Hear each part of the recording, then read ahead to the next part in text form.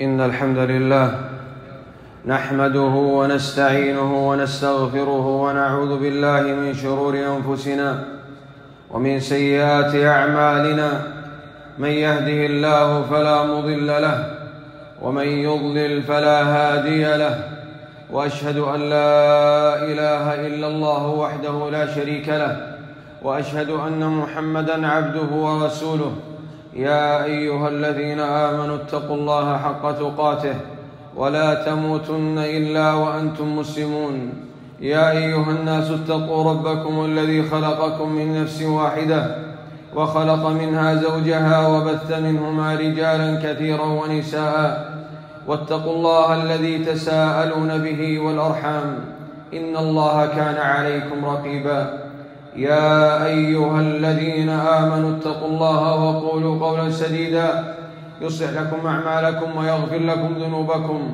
ومن يطع الله ورسوله فقد فاز فوزا عظيما. أما بعد عباد الله فاعلموا أنكم محاسبون وعن أعمالكم مجزيون وبين يدي الله واقفون. في يوم لا ينفع فيه مال ولا بنون. إلا من أتى الله بقلب سليم. عباد الله اعلموا أن الصلاة هي عماد الدين وهي أزكى الأعمال عند الله سبحانه وتعالى وخيرها. قال النبي صلى الله عليه وسلم واعلموا أن خير أعمالكم الصلاة وهي الفارقة بين الإسلام وبين الكفر. وعليها صلاح الأعمال وفسادها يوم القيامة. فعلى المسلم أن يعتني بهذه الصلاة عناية عظيمة لما فيها من الأجر العظيم والثواب الجزيل والمترتب عليها من صلاح وفساد الأعمال يوم العرض على رب العالمين. ولما كانت الصلاة بهذه الحيثية العظيمة والمكانة الكبيرة عند الله سبحانه وتعالى كانت العناية بمكان أدائها وإقامتها عظيما عند الله سبحانه وتعالى. فلذلك ترتب الأجر ترتب الأجر العظيم على عمارة بيوت الله عمارتها بحضورها وداء الصلاة فيها وعمارتها ببنائها. قال الله سبحانه وتعالى إنما يعمر مساجد الله من آمن بالله واليوم الآخر. وقال صلى الله عليه وسلم من بنى مسجدا بنى الله له بيتا في الجنة. وكانت العناية يا عباد الله بهذه البيوت بيوت الله سبحانه وتعالى عناية بالحضور لها وبتشييدها وبتنظيفها والقيام بها. جاء في الصحيح عن النبي صلى الله عليه وسلم أنه فقد امرأة كانت تقم المسجد وفي رواية كانت امرأة سوداء فقيل له إنها قد ماتت فكأن النبي صلى الله عليه وسلم عتب عليهم وأمرهم بأن يدلوه على قبرها ليصلي عليها اظهارا لفضلها ولشرف عملها. ولذلك يا عباد الله يجب على المسلمين أن يعتنوا ببيوت الله سبحانه وتعالى عناية بتنظيفها وتشييدها. ولذلك كان من أعظم الأعمال عند الله سبحانه وتعالى تنظيف المساجد. جاء في الحديث وإن كان فيه ضعف أن النبي صلى الله عليه وسلم قال عرضت علي أجور أمتي. فرأيت قال عرضت علي أجور أمتي. حتى رأيت الغداة تخرج من المسجد. وجاء في الحديث الحسن عن النبي صلى الله عليه وسلم أنه قال عرضت علي أعمال أمتي حسنها وسيئها فرأيت في محاسن أعمالها إماطة الأذى عن الطريق ورأيت في مساوئ أعمالها النخاعة في المسجد لا تدفن. فدل هذا يا عباد الله على أن أن الوسخ في المسجد مع عدم إبعاده خطيئة. ولذلك قال النبي صلى الله عليه وسلم البصاق في المسجد خطيئة وكفارته دفنها. عباد الله إن عناية الإسلام بالمساجد عناية عظيمة. عناية كما ذكرنا في تشييدها وتنظيفها. بل وعناية في من أتى إلى هذه الصلاة. عناية في ملبسه. وعناية في نظافته. قال الله سبحانه وتعالى يا بني آدم خذوا زينتكم عند كل مسجد وكلوا واشربوا ولا تسرفوا إنه لا يحب المسرفين. نعم يا عباد الله إن الإسلام كما أنه عني بالمسجد تشييدا وتنظيفا فقد عني بمن يحضر إلى هذا المسجد جمالا ونظافة. ولذلك أمر النبي صلى الله عليه وسلم من جاء إلى المسجد وقد أكل بصلا أو كراثا أو أو ثوما أن يخرج من المسجد بل أمر بأن يخرج إلى البقيع نكاية به. ولذلك يا عباد الله على المسلم أن يعتني بهذا الأمر العظيم ولا يجعل من أدائه للصلاة امرا عاديا يأتي بما شاء من الملابس بما يستحي أن يذهب بها إلى المناسبات أو إلى من يستحيا منه. فليكن الله سبحانه وتعالى أولى بوقارك وأولى بلباسك فإنك تقف في الصلاة بين يدي الله سبحانه وتعالى.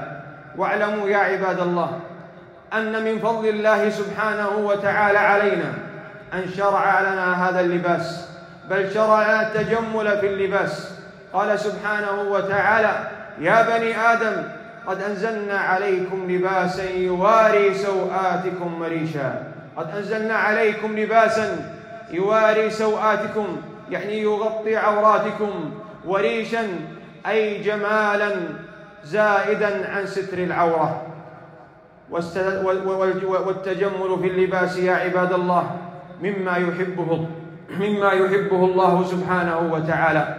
جاء في الحديث الصحيح أن النبي صلى الله عليه وسلم قال لا يدخل الجنة من كان في قلبه مثقال ذرة من كبر. فقام رجل فقال يا رسول الله إن الرجل يحب أن يكون نعله حسنا وثوبه حسنا أي هل يكون من الكبر؟ فقال النبي صلى الله عليه وسلم إن الله جميل يحب الجمال. وعن مالك بن رضي الله عنه وأرضاه قال أتيت النبي صلى الله عليه وسلم فرآني في ثوب أعرابي أو قشف الهيئة أو في ثوب دون. فقال له النبي صلى الله عليه وسلم هل لك من مال؟ قال نعم. فقال له النبي صلى الله عليه وسلم من أي المال؟ فقال له مالك من كل أتاني من الإبل والنعيم والرقيق. فقال النبي صلى الله عليه وسلم إذا أتاك الله مالا فليرى أثر نعمة الله عليك وكرامته. أقول ما تسمعون وأستغفر الله لي ولكم من كل ذنب فاستغفروه إنه هو الغفور الرحيم. ولا يصدنكم الشيطان. إنه لكم عدو مبين. الحمد لله على إحسانه والشكر له على توفيقه وامتنانه وأشهد أن لا إله إلا الله وحده لا شريك له تعظيما لشانه وأشهد أن محمدا عبده ورسوله الداعي إلى رضوانه عليه وعلى آله وأصحابه وإخوانه صلاة وسلاما إلى يوم الدين. أما بعد عباد الله فقد سمعنا قول الله سبحانه وتعالى يا بني آدم خذوا زينتكم عند كل مسجد وكلوا واشربوا ولا تسرفوا إنه لا يحب المسرفين. وقد علمنا يا عباد الله أنه يجب على المسلم أن يعتني بحضوره إلى المسجد بستر عورته أولا لأن قوله سبحانه وتعالى خذوا زينتكم عند كل مسجد فسرت عند علماء التفسير بستر العورة واستنبط منها بعض أهل العلم أن هذا يدخل فيه بقية التجمل للصلاة لا سيما في صلاة الجمعة التي تأكدت فيها الأحاديث بالأمر بالغسل والتطيب والتسوك وكل ذلك من أجل استحضار الوقوف بين يدي الله عز وجل في هذه الصلاة. فالله عز وجل يأمر بني آدم بأن يأخذوا زينتهم في ملبسهم ومظهرهم عندما يقفوا بين يدي الله سبحانه وتعالى. ومن المسائل يا عباد الله التي يجب التنبيه عليها في هذا الموضوع بالذات مما انتشر بين الناس في صلاتهم أنهم يلبسون القصير من السراويل فيأتون إلى المسجد بها فإذا أنزل فإذا أنزل سرواله إلى اسفل إلى أسفل العورة بدا أعلاها. وإذا رفعه إلى أعلاها بدا أسفلها. وهذا يا عباد الله لا شك أنه مبطل للصلاة. فستر العورة في الصلاة من شروطها. فإذا انكشفت العورة بطلت الصلاة. ولذلك كثير من الناس لا يعتني بهذا الأمر. فعورة المرء في الصلاة. من سرته إلى ركبته فيبدو خلف ظهره في الصلاة بما دون السرة فتبطل صلاته وهو لا يشعر. فعلى المسلم إذا حضر إلى الصلاة فضلا أنه يجب عليه أن يتزين فعليه أن يأتي بما يستر العورة سترا كاملا لا يحتاج فيه إلى هذه الأمور بأن يرفع أو ينزل من أجل أن يستر العورة. فوقوفك بين يدي الله عز وجل. لا بد أن يكون وقوف وقار ووقوف تعظيم لله سبحانه وتعالى. ومن المسائل يا عباد الله المتعلقة بهذا الشأن أن بعض الناس يأتي إلى الصلاة وفيه رائحة كريهة ليس رائحة ثوم أو كرات أو بصل بل برائحة العرق فيأتي من الملعب مثلا أو يأتي من الشغل مثلا. وفيه رائحة كريهة. والحكم يا عباد الله في هذه المسألة كالحكم في أكل الكرات والبصل والثوم. وعلى المسلم أن يعظم هذه الصلاة أن يعظمها تعظيما يليق بها فلا يتأخر عنها. حتى وإن كان يلعب لا بد أن يخرج مبكرا. حتى يغتسل ويتزين ويتجمل لهذه الصلاة ولا يتعلل في عدم حضوره إليها بما فيه من رائحة كريهة نتنة بل إن هذه الرائحة هو الذي أتى بأسبابها فعليه أن يبادر إلى إزالتها وأن يخرج من ملعبه أو من عمله مبكرا حتى يؤدي هذه الصلاة. ومن هذه المسائل يا عباد الله العمال الذين يأتون إلى المسجد وعليهم رائحة كريهة. يقال لهم نفس يقال لهم نفس ما قيل في هذه المسألة بأنه لا يجوز لهم أن يحضروا إلى المساجد.